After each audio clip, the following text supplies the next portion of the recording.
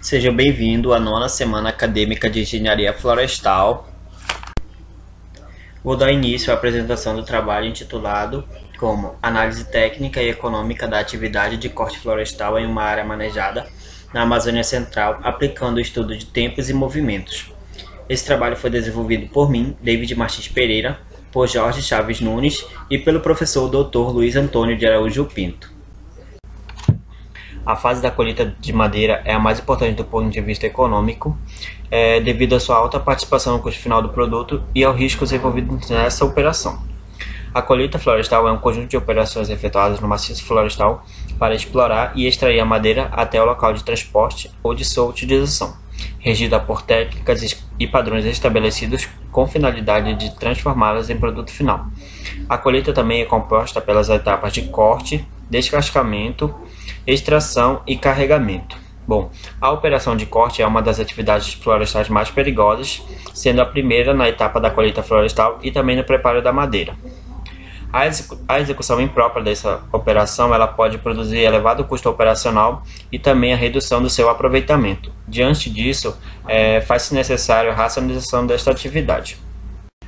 Bom, esse trabalho tem por, por objetivo avaliar técnica e economicamente a atividade de corte florestal semi-mecanizado em uma área de manejo florestal na Amazônia Central. O estudo foi realizado no imóvel Fazenda Jatobá 2, com área total de 2.912,36 hectares, localizado à margem esquerda da rodovia M010, km 190, no sentido Manaus e Itacoatiara, na margem esquerda do rio Urubu. Foram estudadas 96 árvores, sendo divididas, divididas em 29 espécies e 18 famílias. A espécie que apresentou maior número de indivíduos foi o amapá, com 15 indivíduos. Outra espécie que apresentou maior número de frequência foi o cedrinho, com, com 7 indivíduos. A atividade estudada foi o corte florestal semi-mecanizado.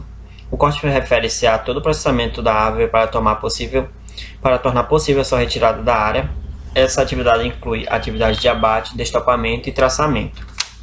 Foi cronometrado é, o corte de uma árvore abatida através de suas atividades parciais correspondentes. As atividades parciais ou elementos divididos foram divididos em tempos puros e tempos generalizados. Os tempos puros são a localização da árvore, a limpeza da área, o teste do oco, o corte inferior, o corte superior, o corte contenção e o destopamento. Já os generalizados inclui a manutenção do motosserra, as necessidades fisiológicas de descanso, o caminho e a pausa e também interrupções operacionais. A soma de todas essas atividades parciais ou elementos, ela constitui o ciclo de abate de uma árvore. Como eu já havia dito antes, o, o, ciclo de abate de uma árvore foi dividido em tempos puros e tempos generalizados. Os tempos puros correspondem a 43,06 em relação ao tempo total do ciclo de abate de uma árvore.